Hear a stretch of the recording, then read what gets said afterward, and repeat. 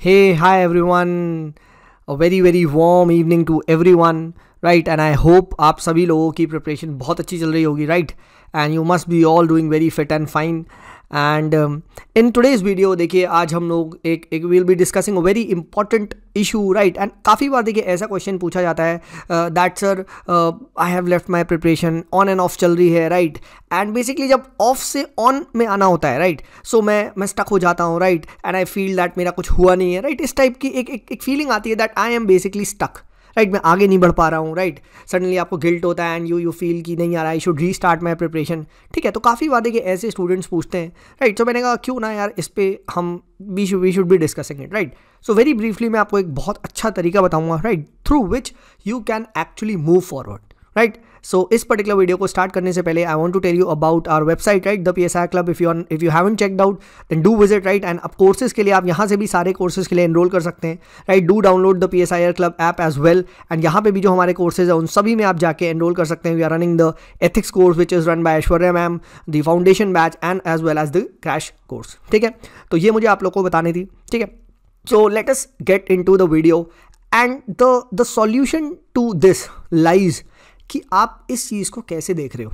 And generally हमारी क्या धारणा होती है, हम सबकी क्या धारणा होती है right we see it in terms of hours कि सर मैं तो सिर्फ़ दो ही घंटा पढ़ रहा हूँ राइट right? इस टाइप से आप देखते हो, सर मैं तो सिर्फ़ चार घंटा पढ़ रहा हूँ। जब whenever you start you start out with that one particular topic तो ये आओ सिलेबस देखते हैं। When you start seeing the syllabus हम लोग जनरली क्या करते हैं we we start out with Plato Aristotle Machiavelli etcetera Hobbes etcetera हम कवर करते हैं। पर जब तक हॉब्स लॉक मिल तक आते हैं या पर आप कह सकते हो हैना आइडेंट तक आते हैं, हम थक जाते हैं। कहीं ना कहीं हमारी ब्रेक लग जाते हैं प्रिपरेशन में। Then again we come back we start off with Plato Aristotle Machiavelli तो आप यहीं पे ही या मैक्सिमम आप कह सकते हो दो तीन और टॉपिक तक ही फंसे होते हो। आप आगे बढ़ ही नहीं पाते हो। Right and this is what is the reason क्योंकि आप लोग देखते हो कि भाई हमें तो घंटे के हिसाब से पढ़ाई करनी है, मैं तो बारह घंटे नहीं पढ़ पा रहा हूँ। नहीं नहीं नहीं। ठीक है whenever you are stuck in this just open the syllabus और आज इस सिलेबस को अब ऐसे देखो कि यार कौन सा एक टॉपिक है इसमें से? कौन सा एक ऐसा टॉपिक है जो मैंने कभी नहीं पढ़ा है? आज मैं सिर्फ़ उसे पढ़ूँगा। डजेंट मैटर कि वो वन ए का है टू ए का है टू बी का है। एंड जनरली आप देखोगे, जैसे मैं आपको एक ये टॉपिक बताता हूँ। आधे से ज़्यादा बच्चों को, आधे से ज़्यादा बच्चों को ये टॉपिक नहीं पता होता कि there is something called as third world demand for N I E O N I E O हमारे इंपॉर्टेंट टॉपिक है, वो पढ़ते ही नहीं है। एन आई ओ क्या होता है? ये पता ही नहीं है। New international economic order thrust में ये बहुत सारे लोगों को पता ही नहीं होता। ठीक है? बहुत सारे लोग ये आर्म्स रेस वाला टॉपिक तो कभी पढ़ते ही नहीं है। Right right. बहुत सारे लोग इनफैक्ट 99 परसेंट ऑफ़ द जनता तो ग्लोबल जो कंसर्न्स है जेंडर जस्टिस राइट आपका इन्वायरमेंटल कंसर्न्स इन सबको देखते ही नहीं है। Right right. ग्लोबलाइजेशन वाला टॉपिक ठीक है? व्हाट इज़ द रिस्पॉन्सेज इसके बारे में बात ही नहीं करती है। अगर हम लोग टू ए वगैरह पढ़ते हैं तो मैक्सिमम थ्योरीज कर लेते हैं, थोड़े बहुत कॉन्सेप्ट इन आई कर लेते हैं। ठीक है? But we don't look at these important things right we don't look at the strategic and ideological bipolarity इसको कभी हमने देखा ही नहीं राइट right? सिमिलरली अगर आप टू बी का टॉपिक्स देखेंगे तो टू बी के टॉपिक्स में we we don't see this ये वाला जो यहाँ पे जो आप देखेंगे India and the nuclear question में जैसे चेंजिंग परसेप्शन क्या हो रहा है पॉलिसी क्या हो रहा है ठीक है? ये चीज़ें मतलब बहुत ऐसे ऐसे टॉपिक्स हैं जो हम कभी देखते ही नहीं हैं ठीक है? सो so, इस कंटेक्स्ट में इस कंटेक्स्ट में रिमेंबर कि उन टॉपिक्स को पहले उठाए जो आपने कभी नहीं देखे। जो आपने कभी नहीं देखे राइट अब जैसे पेपर वन बी है वन बी में आप देखोगे जनरली सोशल मूवमेंट्स वगैरह सिविल लिबर्टी मूवमेंट ये सब हम नहीं देखते उतने अच्छे से। थोड़ा बहुत पढ़ लिया तो हमने strategies to Indian national movement पढ़ लिया राइट ठीक है बट ये प्लानिंग वाला इकोनॉमिक डेवलपमेंट वाला ग्रीन रिवोल्यूशन वगैरह हम पढ़ते ही नहीं है राइट तो हमेशा क्या करें? जब भी if you are stuck just open the syllabus and just go to one topic कि, सर, आज मैं पढ़ूँगा फेडरलिज्म बस। एंड दो दिन लगे, तीन दिन लगे, चार दिन लगे, मैं फेडरलिज्म कंप्लीट करके सो जाऊँगा सर बस, ये करो।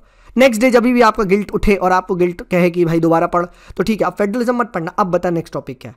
सर मैंने सोशल मूवमेंट आज तक नहीं पढ़ा। अब सोशल मूवमेंट पढ़ा। ठीक है?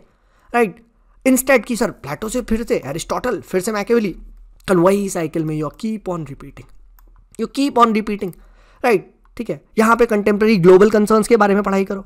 राइट जहाँ पे जेंडर जस्टिस की बात हो रही है, जैसे टॉपिक नंबर इलेवन ये देखिए generally democracy human rights environment gender justice terrorism nuclear we almost we leave it right because कि भाई कहीं मार्केट में ये चीज़ नहीं पढ़ाई गई है तो हम भी छोड़ देते राइट बट यूपीएससी तो क्वेश्चन पूछेगा ना। So this is what is the key point the solution lies in topics and not hours right ठीक है तो ये चीज़ आप लिख सकते हैं, ठीक है। सिंपल, आप उसका एक सोर्स पर उठाए अनपढ़े कि सर लेटर से आज मुझे पढ़ना है the evolution of the international economic system that is from Bretton Woods to the W T O तो कैसे आपका ब्रिटेन वुड इंस्टीट्यूशन आया, कैसे आपके आई एम वर्ल्ड बैंक और देन लेटर ऑन आपका डब्ल्यू टी ओ एक्सेट्रा बनता है राइज होता है फॉल होता है, वो सब पढ़ना है। ठीक है, वो पढ़ लिया। Right right. सिमिलरली हम लोगों ने थर्ड वर्ल्ड के बारे में third world and its demand of N को पढ़ लिया। Right socialist economies and the C M E A the council for mutual economic assistance है, उसके बारे में पढ़ लिया। ठीक है? तो टॉपिक्स को कवर करें इंस्टेड ऑफ़ आवर्स या इंस्टेड ऑफ़ पूरा सिलेबस हम लोग क्या करते हैं? सिलेबस को कन्वेंशनल वे में करते हैं कि सर, पहले हम वेस्टर्न पोलिटिकल थाट पढ़ेंगे, फिर हम ये पढ़ेंगे, फिर हम आइडियोलॉजीज पढ़ेंगे, फिर हम ऐसे ऐसे करते करते करते करते पूरा लास्ट में हम पहुँचेंगे। ये a perfect recipe for a failure है।